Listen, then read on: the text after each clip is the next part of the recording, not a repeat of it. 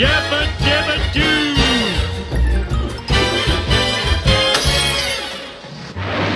Simpson, Homer Simpson, he's the greatest guy in history. From the town of Springfield, he's about to hit a chestnut tree.